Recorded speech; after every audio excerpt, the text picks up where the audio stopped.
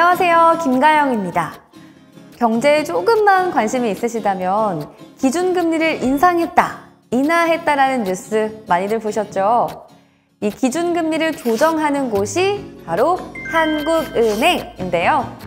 자, 그렇다면 기준금리와 나의 예금금리, 대출금리와의 관계는 어떻게 되는 걸까요? 지금부터 그 궁금증을 풀어보도록 하겠습니다.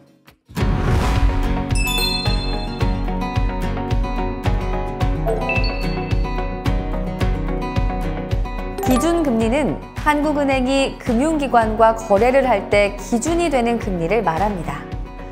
보다 구체적으로 말하자면 한국은행이 일반 은행들과 채권 등의 금융상품을 사고 팔거나 대출이나 예금을 받기도 하는데 이때 기준이 되는 금리입니다. 한국은행이 은행들과 채권을 사고 팔 때 주로 환매 조건부 매매 방식으로 하는데요. 환매 조건부 매매는 간단히 설명하자면 채권을 담보로 돈을 빌리는 거래입니다. 시중에 돈이 많으면 한국은행은 어떻게 해야 할까요? 시장으로부터 돈을 흡수해서 통화량을 줄여야겠죠. 그럼 한국은행은 채권을 담보로 해서 금융기관으로부터 현금을 빌려옵니다. 나중에 돈을 돌려줄 때 이자를 더해주기로 약속을 하고요.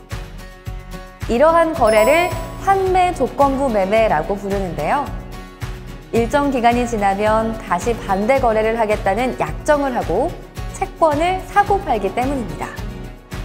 자, 여기서 RP 매각인지 매입인지는 처음 거래 시 채권을 기준으로 부르는데요. 여기에서는 한국은행이 처음 거래에서 채권을 매도하였으므로 RP 매각이라고 부릅니다. 참고로 한국은행과 금융기관 사이의 RP 거래는 주로 7일을 기준으로 일어납니다. 이 7일물 RP 거래에서 이자를 계산할 때 기준금리를 사용하게 되죠.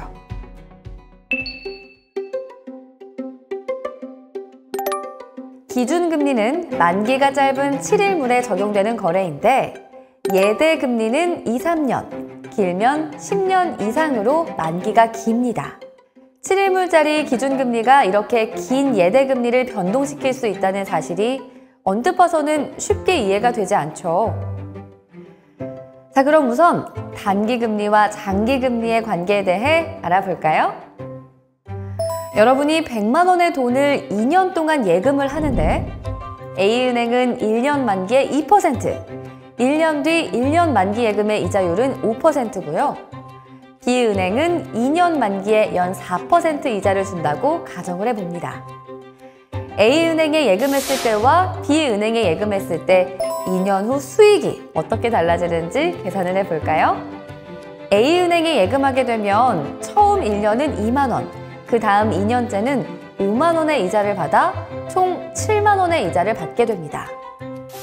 B은행에 예금을 하면 2년간 8만 원의 이자를 받게 되죠.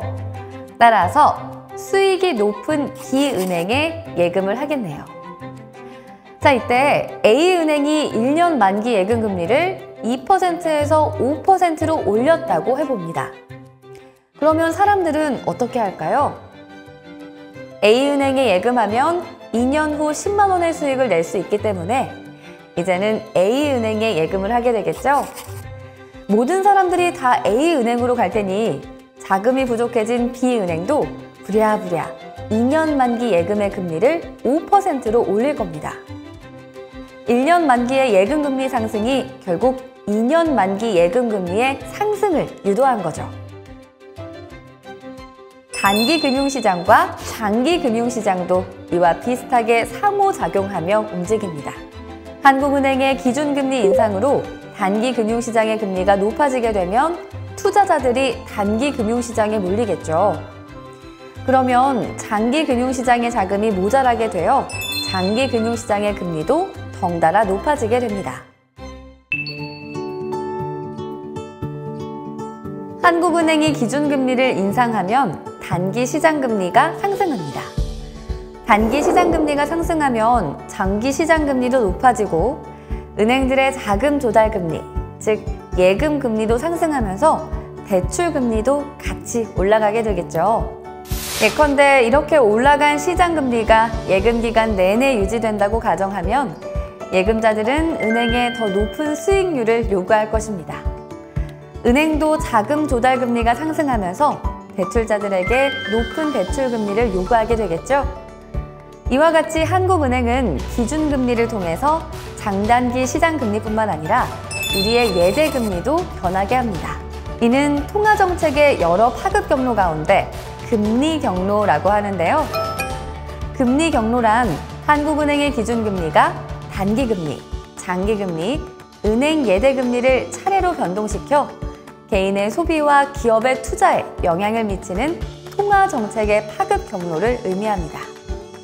우리가 방금 배운 내용은 금리 경로의 1단계에 해당을 합니다. 기준금리 인상은 대체로 예대금리의 상승으로 이어지나 반드시 같은 방향으로 움직이는 건 아닌데요.